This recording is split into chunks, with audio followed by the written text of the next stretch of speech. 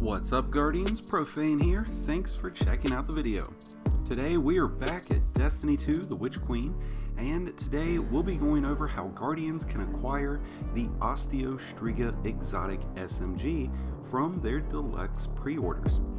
Now before we begin, if you enjoy the video and find it helpful, be sure to help support the channel below by hitting the like button along with the subscribe button if you're new. Both are greatly appreciated as always. Once completing the introductory mission to the Witch Queen, Guardians are introduced to the new weapon Enclave system.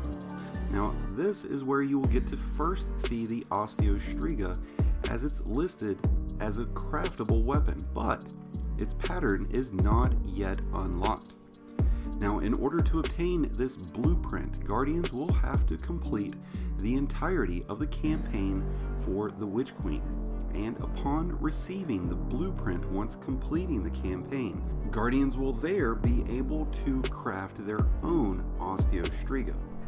In order to craft the Osteostriga, Guardians will have to supply 7 resonant alloy, 15,000 glimmer, 2,375 neutral elements, 1 ascendant alloy, and 70 ruinous elements neutral and ruinous elements.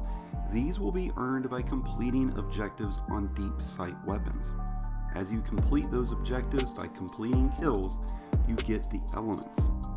Currently, Ascendant Alloy can only be purchased from Master Rahool. We're still determining the best way to farm for the Ascendant Alloys, but at this time, the only way that we've been able to determine is by completing legendary missions, nightfalls, weekly ritual activities.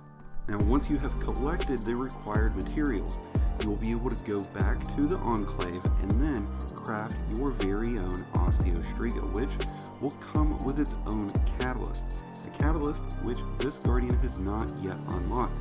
But once I have done so, I'll be getting you guys the details on the best ways to get it done fast. In the meantime though, I hope you've enjoyed today's video and found it. If so, be sure to hit the like button below along with the subscribe button if you're new to the channel. Both are greatly appreciated and really do help support the channel. I wish you guys the best and luck throughout this season, Season of the Risen, and the new DLC, The Witch Queen. Until next time, this has been Profane, wishing you all some happy hunting.